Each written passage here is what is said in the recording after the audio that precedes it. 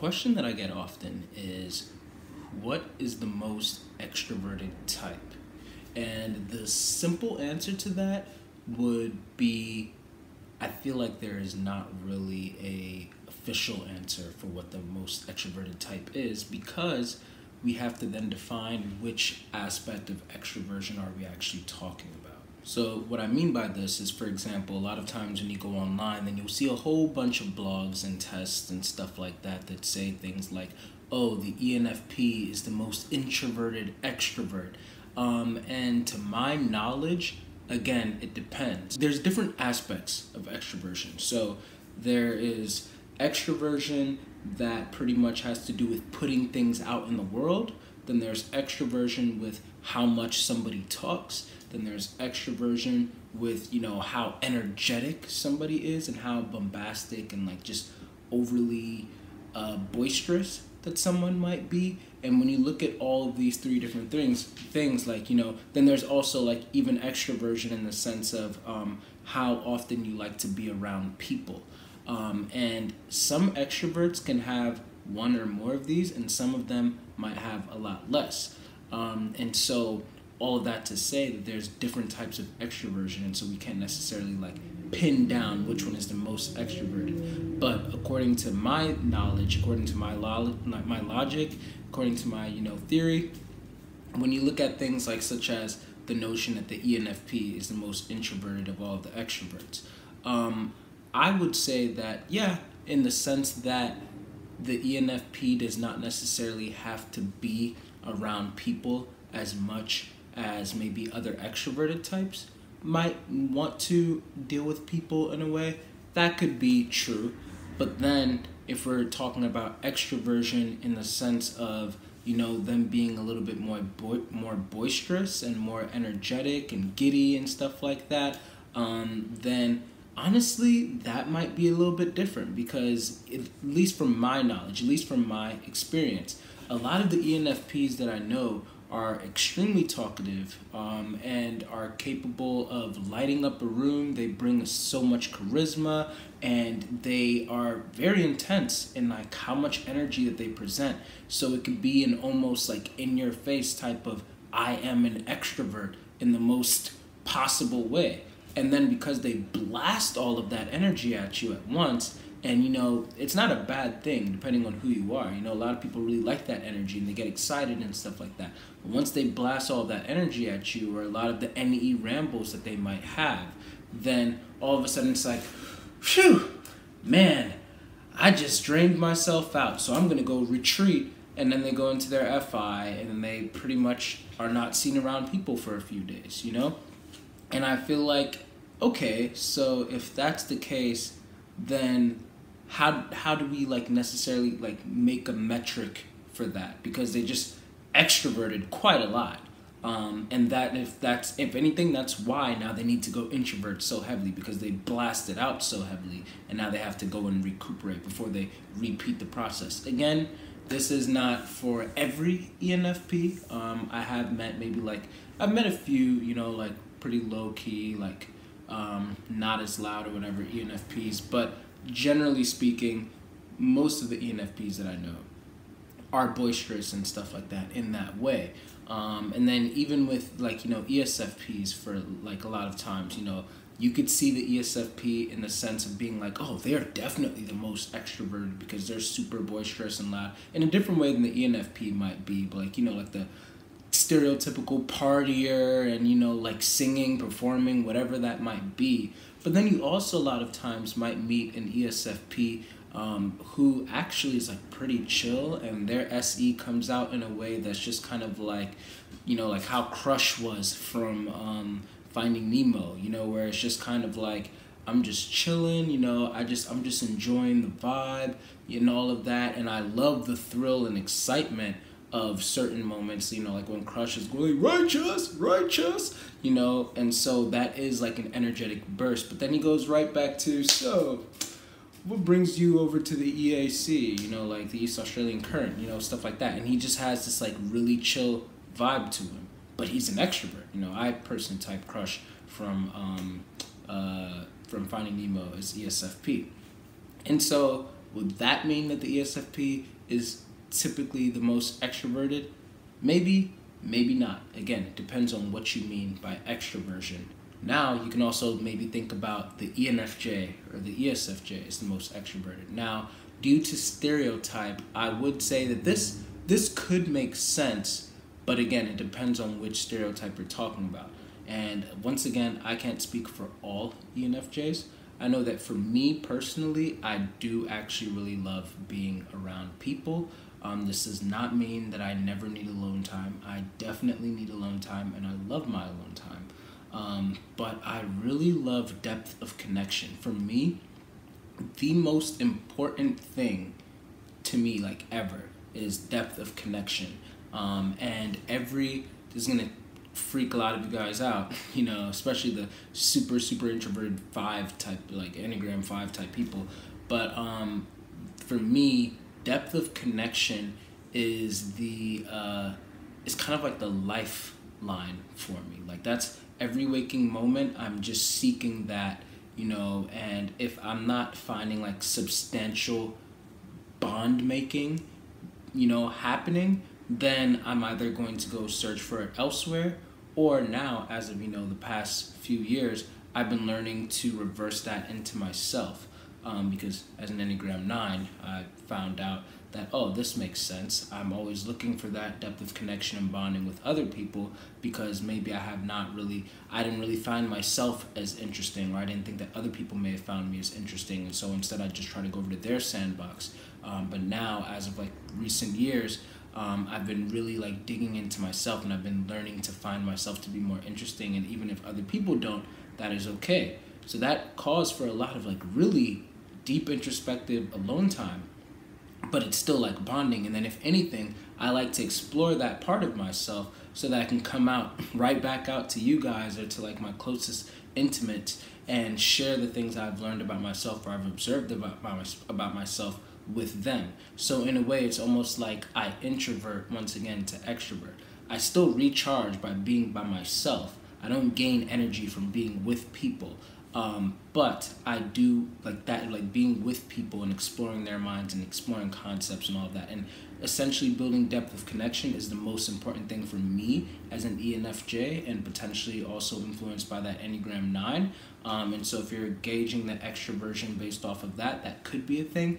But I also don't necessarily view myself and others don't really describe me as somebody who's like super loud and like boisterous and all of that. And on top of that if um if i am seeing that an interaction is not producing fruit of bonding and substance and you know what would i call um, what i would call you know like just having a meaningful bond and like merge with each other then i'm not going to invest energy there um, and again, this is just me speaking as an ENFJ.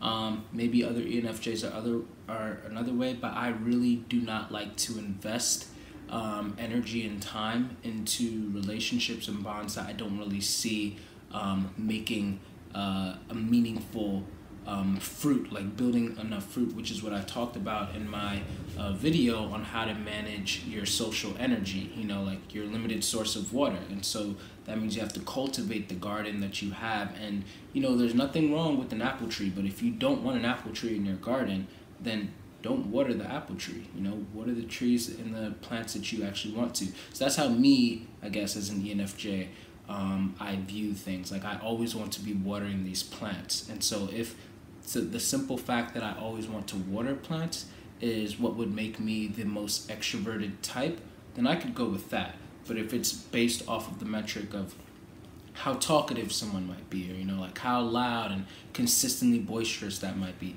I don't think that might be the um, the right analogy or the right metric for me as an ENFJ, um, or maybe even other ENFJs as well. Um, but you know, you guys let me know what you think.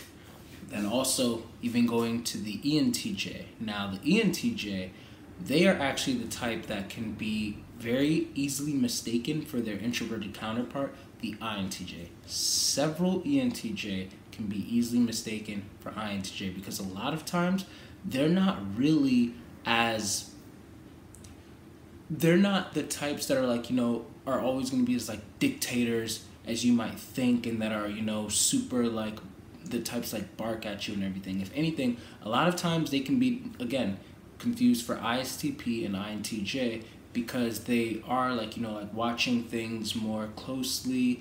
And a lot of times they don't really want to deal with people because extroverted thinking is their dominant function and that's not really a people oriented function. And so by this gauge you might automatically be like bam. Then that means that they are the you know least extroverted type of all the types but hold on again different facets of extroversion if we're going by extroversion having to deal with people yeah probably not if we're dealing with extroversion having to be with like, you know, really loud, boisterous, yeah, probably not. But what about extroversion having to do with putting things out there in the world? Now that's where you might get a little spin. The ENTJ is very, very good at producing and putting things out in the world. And if anything, like, you know, a lot of times, like TE DOMs, ENTJs, and ESTJs, they are very skilled at putting things out there in the world. Um, and, you know, kind of producing in a way. And if we're gauging their extroversion based off of that, then sure, people might annoy them, but people usually annoy them because people get in the way of them getting things done, which is what extroverted thinking is essentially all about. You know, like getting things done, but it's also about, you know, like the efficiency and, you know, kind of like seeing things as like, will this work? Will it won't will it, will it not work? Etc when we're looking at the most extroverted type in that sense, other types may not output nearly as much as the ENTJ does. Um, and so perhaps that could be the quote unquote most extroverted type. But again, doesn't really check all of the boxes for the rest of them. And so, once again, what would you then say is really the most extroverted type? And you can even do this again with the types like the ESFJ and the ESTJ, um, and just keep on going down that line, you know, to see like with all of the extroverted types, the ENTP, I believe that ENTPs, with the exception of ENFPs, in my personal experience, they talk a lot and they they can keep on talking too. Like they can just brrr. does that mean that there's never you're never gonna run into a quiet ENTP? Not necessarily. Um, but I, from my experience, they do talk quite a lot. Um, but again, does that mean that they're the most extroverted type? Well, they're not extroverted in the sense that they're always like putting things maybe out there in the world. They are a little bit more. They're they are like boisterous in the same sense that the ENFP might be. Um, and so again, we have to like think about okay, what what are we gauging this metric of extroversion on? And if you are gauging it on one or all of these aspects, then maybe it's going to be based off of like, okay, who checks the most boxes from there? Because even then, just like kind of like what I said um, about me, speak like speaking personally as an ENFJ, and even from other ENFJs that I've met, you know, like especially really healthy ones, they're not going to invest their energy into cultivating a dynamic or like speaking with not necessarily like not speaking with people like but building a relationship and investing in a relationship with you know people that are not really going to be longer term. And so instead they'd rather just keep to themselves and then they can come off seeming a little bit a lot more intro, introverted in that case. Um, and so in the same sense you know you'll see a lot of um, entps perhaps that might not even feel the need to like talk or share certain thoughts with certain people because they feel like okay well nobody's gonna really like get my quips and my banter. Like you know this is just gonna like fall onto dead soil. And so what's the point of me like maybe like talking you know? And it all depends on like okay do I want to really engage or do I not want to really engage? You know, they might just get really sucked into an introverted thinking part of themselves because again, our auxiliary function as extroverts is going to be an introverted function and no matter how extroverted you are, we all need to tap into that introverted function that are um, co-pilot. Um, and so, again, uh, which type would be the most extroverted? Some of you probably may have already guessed. There's not really, in my opinion, a most extroverted type. Nor, in my opinion, do I think is there a most most introverted of the extroverted types because one extroverted counterpart is always going to like get in the way of the other. Like for example, even the ENFJ, even though they might be completely like FE is all about like you know people and all of that and like connecting and stuff like that. Introverted intuition, which is a secondary function, that's a function that requires absolute silence and sensory deprivation. So that means like pretty much like no people around and no sunlight and like just you know like just com- being completely in a sensory deprivation type of tank um, where you're able to just be there with your mind and and wander the garden of your mind. And so if you have that as a dominant function extroverted feeling and then you go into such a very sensory deprived place in your mind does that really then mean that you're the most extroverted type but then when you look at the ENFP, who again might be super boisterous and might give all of these ideas and might NE ramble for days, you know, but then they have to go back into their FI, um, and that's where they reassess and they they kind of like think like, okay, I just I just had all these experiences and I just did this and I just did that and I like discovered this philosophy. I just like you know you know ran into this philosophy and I started doing that. What does this all have to do with me? And they start reassessing all their values and everything. That's taking a lot of introverted time. And so, again, would they then also be considered the most introverted of the extroverts, even after putting out so much? We don't know. And this could once again just keep on going for like every type. Um, so, at the end of the day, I guess my opinion is that we cannot really decide um, definitively what would be the most extroverted personality type, um, or even what would be considered the most introverted of the extroverted personality types. However, if we were to say which one would be which, then I think it would just be most important to make it known by which standard of extroversion are we talking about.